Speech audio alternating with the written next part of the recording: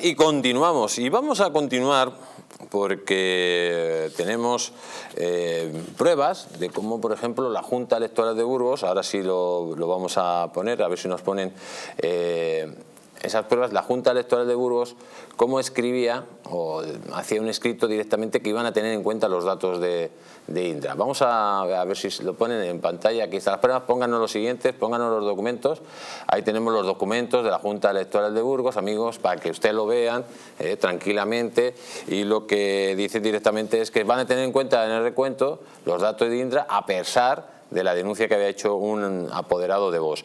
Eh, pongan la siguiente foto eh, y ahí es lo que Indra, eh, perdón, la Junta Electoral dice a las juntas electorales provinciales que no pueden delegar sus funciones en Indra, que tienen que hacer el escrutinio de votos directamente, amigos, lo tienen que hacer contando las actas una a una. Y no puede haber delegación de voto en Indra, señor Araujo. Claro, lamentablemente, como decía antes, eh, la Junta Electoral Central se desdice y desoye su propia recomendación rechazando este recurso del apoderado de Vox y, bueno, avalando esto que decía y que confesaba la propia Junta Electoral de Burgos, que decía yo que ellos están cotejando. No se puede cotejar, no es válido el cotejo. Por ejemplo, si yo eh, Jesús, le digo a usted, oiga, pues tengo, tengo cuatro facturas. Tengo una factura que yo le, le, he hecho un informe de 350 euros, otra de 150, otra de 50 y otra de 80.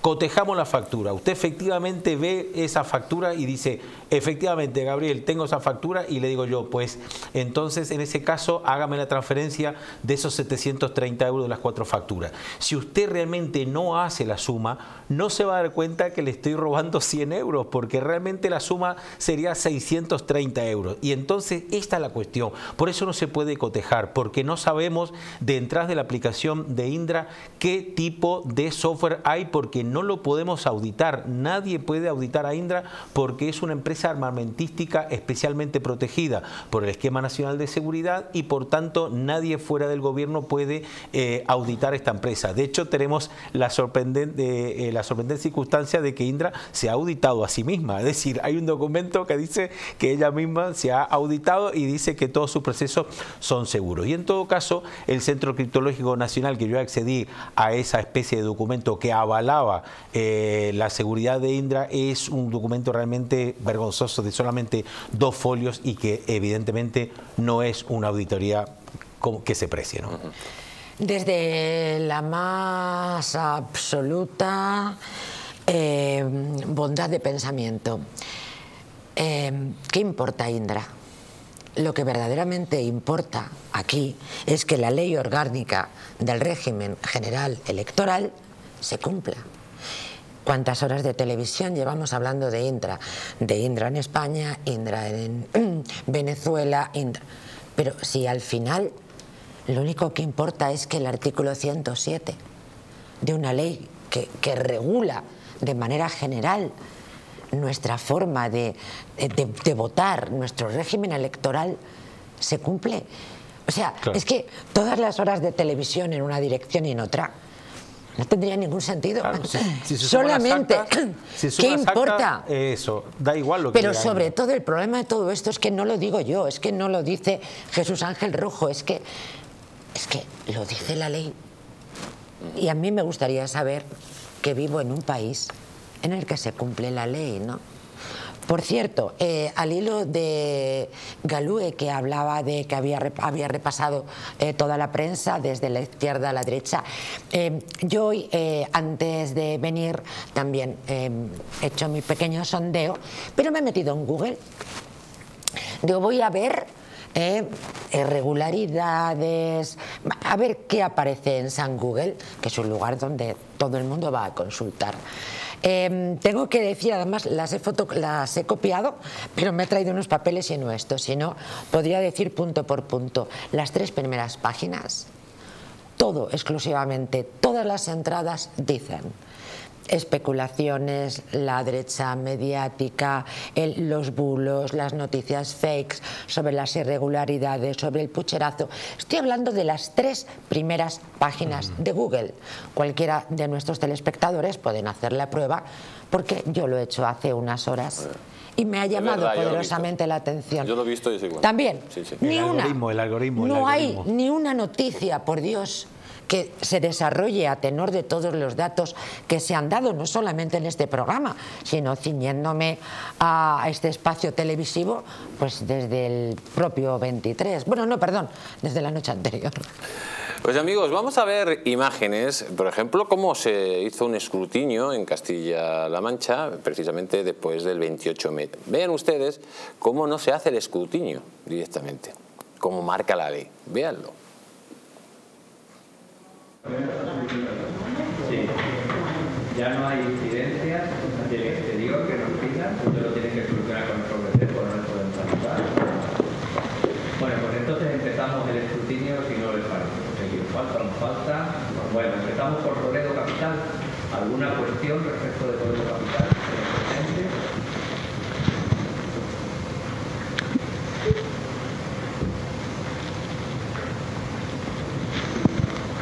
va el ordenador, no va. Bueno, Javier, cogemos la idea de que... Sí, sí, no, se está haciendo, Armando va a hacer una... ya la... Es que también se ha bloqueado la, la anterior.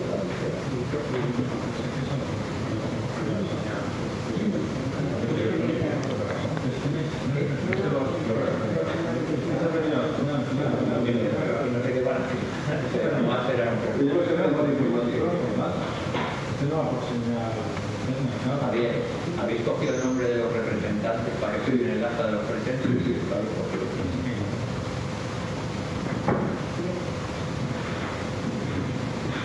¿Ya, no? No, ya, ya.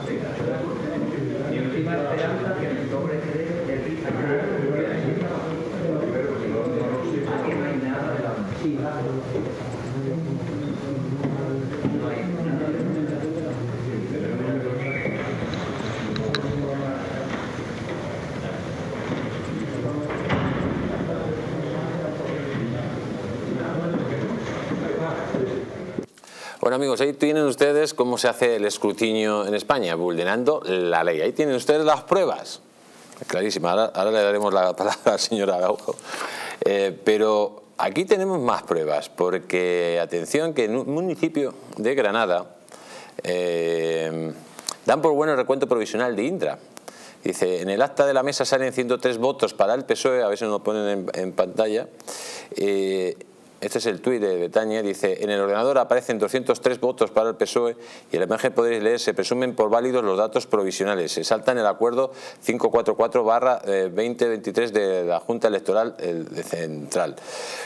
A ver si nos ponen, ahí lo tienen ustedes, la foto. Si, si nos hacen más grande la parte de la derecha, pues verán ustedes cómo tienen en cuenta los datos de Indra. En ningún momento hacen el recuento electoral. Ahí lo tenemos, en ningún, ahí lo tienen. Se observa que se salta la línea en el acta de las mesas y se presumen por válidos los datos provisionales de Indra. Ahí lo tienen ustedes, amigos.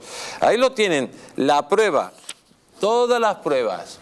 Cuando dicen que no hay pruebas, ahí la tenemos las pruebas. Muy rápido con estos dos temas porque tengo una persona Esto es muy grave porque prevalece realmente el acta, prevalece el acta, por más que haya un salto de línea. Esto es una barbaridad, es un disparate. Siempre prevalece el acta original.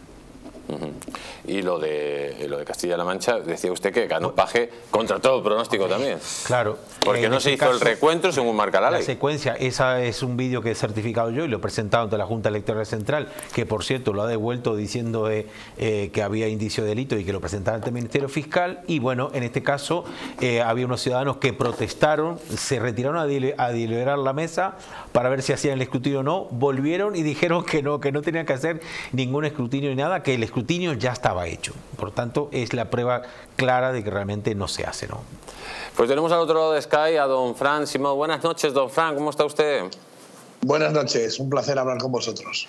Eh, bueno, aquí ya hemos visto, hemos estado viendo que ha habido datos sociológicos, datos de probabilidades que no, se, que no coincidían, que es casi imposible, es casi como que se te caiga un rayo, eh, encuestas que luego pues eh, son totalmente radicales respecto a resultados, resultados en el Congreso que no coinciden con el Senado, eh, la custodia del voto por correo que ha sido, bueno, no ha habido custodia prácticamente, eh, las encuestas de, de sobre el voto por correo que dice que un 51% ha sido por la izquierda y un 34% por las derechas, habiendo un diferencial de 17%, pero aquí ya lo que estamos viendo en estas pruebas clara y abiertamente es que las juntas electorales provinciales están en rebeldía con respecto a la Junta Electoral Central porque no cumplen la ley, no cumplen la LORET y han tenido en cuenta los datos de Indra,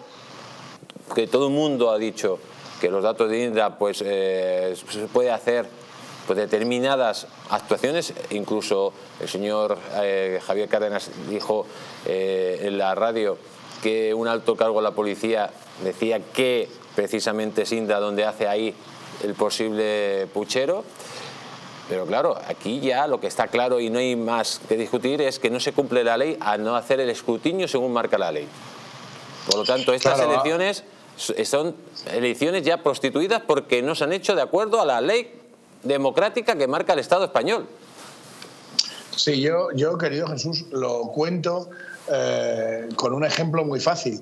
Eh, esto al final es matemática y dentro de la matemática la parte de la estadística.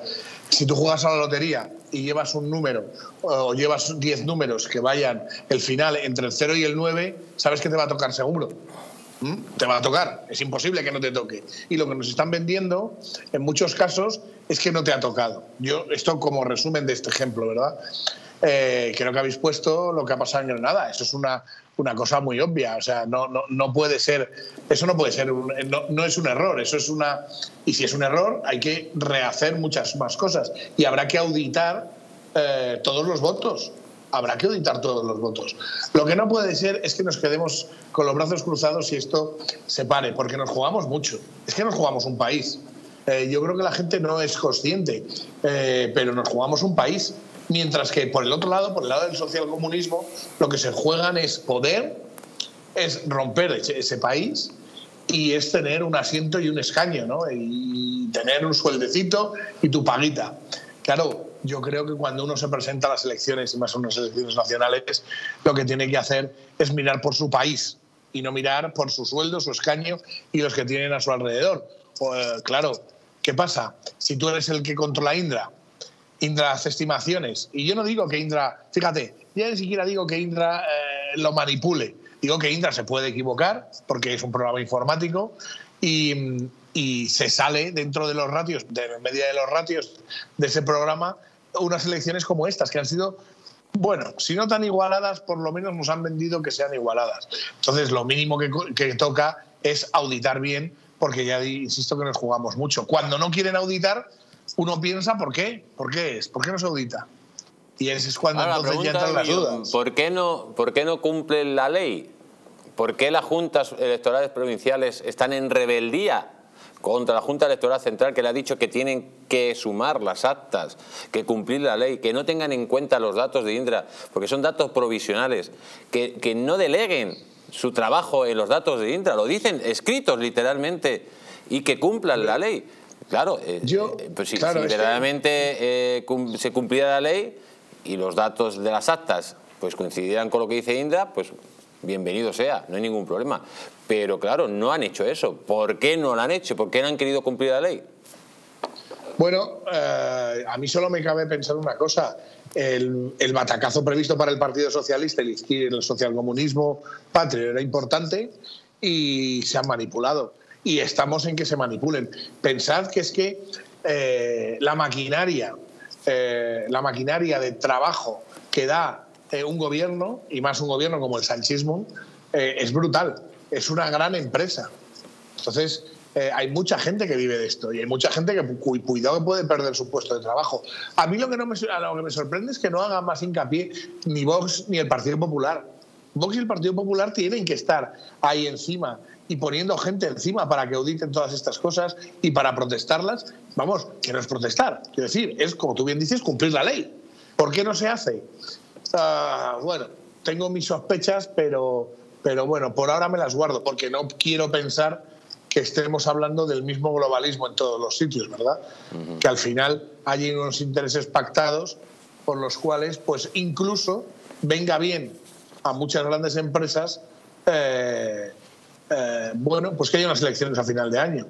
Digo esto porque cuando uno analiza lo que es BlackRock y lo que es Vanguard y qué hace en la, en la, en la economía española, cómo influye en la economía española, a lo mejor a estas grandes empresas por la presentación de resultados y otra serie de cosas, le interesa que haya una paz social que deje que la economía fluya desde Europa para que tengan a final de año un buen resultado y luego ya pues que se jueguen unas elecciones, ¿verdad? Pues don Fran Simón, como siempre, muchísimas gracias por haber estado aquí en el Mundo al Rojo. Reciba un fuerte abrazo. Un fuerte abrazo a todos. Muchas gracias, Jesús. Eh, me queda muy poco tiempo y quiero poner lo siguiente, que ya lo hemos hablado en su momento, y dice un tuit suyo, además con documentos, dice, ¿por qué, los, eh, por qué casi todos los archivos judiciales territoriales están pidiendo a la Junta Electoral Central que les permitan eliminar las actas de anteriores elecciones si la Loret, a ver si nos ponen el tuit número 19, ahí lo tenemos, de, que permitan eliminar las actas de anteriores elecciones si la Loret dice que deben conservarse? Pues porque la mayoría de los sobres con estas están sin abrir. Y eso es prueba irrefutable de que no se suman las actas. Vamos a ver los documentos, los dos documentos. Ahí tenemos el primer documento donde solicitan precisamente la destrucción de estas actas y luego otro segundo documento que también pues eh, le, les dice directamente la Junta Electoral Central que, que lo tienen que guardar, pero quieren, amigos, eliminar directamente las pruebas. Muy rápido con este tema. Pues sí, es que eso llama muchísimo la atención, que de repente que estamos nosotros poniendo el foco sobre el escrutinio general, pues de repente quieran eliminar y echar a la hoguera todas la- la- las actas, ¿no? Que eh, presumiblemente, como ellos únicamente abren aquellos sobres eh, reclamados por los partidos políticos, presumiblemente la mayoría de, la inmensa mayoría de los sobres están sin abrir, claro. Y en vez de poner a alguien rasgando sobre, pues vamos a quemarlos todos, claro. Eh, María José. Pues para poner punto final, ya quería recordar que he retorcido la celebérrima frase anteriormente de si no fuera porque es trágico sería cómico y es que eh, la verdad es que todas esas irregularidades que han tenido lugar por primera vez, yo creo en toda la historia de la democracia, quería recordar también los fallos, las caídas, los errores de la página del Ministerio de Interior a lo largo de toda la jornada, de toda la noche electoral, lo recordáis, ¿verdad? Bueno, pues que sepáis que esto mismo sucedió en 2019. Habría que sumar el asunto de los trenes, la cantidad de estupideces que hemos podido ver en esa guardia y custodia de las actas, de los votos que naturalmente no han tenido lugar y que por tanto, pues vuelvo a insistir, lo que ha sucedido realmente, si no fuera porque es trágico, sería cómico, pero alguien desde luego tiene que hacer algo y como decía Centeno, solamente los partidos políticos pueden impugnar los resultados electorales. En 30 segundos para terminar. Bueno, apoyando precisamente lo que decía María José con respecto a estas caídas de la web, recordar el informe del Parlamento Europeo, el A187-2023, que yo tengo el defecto que tengo la memoria para los números brutal. Este informe específicamente habla sobre las injerencias sobre los procesos democráticos de la Unión Europea. Cita esas caídas de la web como un vector que hay que prestar mucha atención porque ahí se, se comete el fraude electoral, lo dice específicamente, y recordemos también que el Distrito de Evo hemos visto que esa fundación que llama Cipriano García, dependiente de la Federación Catalana de Comisiones Obreras, financiada por unos fondos de, desde Suecia, por, por una fundación de, de George Soros, ese precisamente también el punto 93 de este informe refiere a esa injerencia extranjera en los procesos electorales con especial mención en Cataluña, precisamente en donde el PSOE subió de manera espectacular. Es decir, que vamos encajando esas piezas del puzzle, sacando conclusiones muy interesantes y yo creo que en las próximas eh, semanas incluso vamos a sacar muchas más conclusiones. Pues doña María José, don Gabriel, muchísimas gracias por haber estado en este programa especial, amigos. Y a todos todos ustedes, como hemos hecho este programa especial para todos ustedes, la verdad que va a ser el último, digamos, de la temporada y volvemos en septiembre. Decirles que seguiremos investigando y sobre todo que seguiremos denunciando toda esta actuación. Ya sabemos, amigos, hay una cosa clara y evidente, en España el escrutinio general no se ha hecho de acuerdo a lo que marca la ley. Por lo tanto, estas elecciones no se han hecho de acuerdo a lo que marca la ley. Eso ya no es que es claro, es clarísimo, es blanco y en botella. Y ni políticos ni medios de comunicación dicen nada, solo quedan ustedes. Y ustedes quieren que el imperio de la ley, que es la base de una democracia, sea vulnerado por la ley de una partidocracia que no se entiende dónde quiere llevar este país? Pues yo no. Si ustedes tampoco, continúen aquí, en la resistencia. Sean buenos, que Dios les bendiga y que Dios bendiga a la Madre Patria.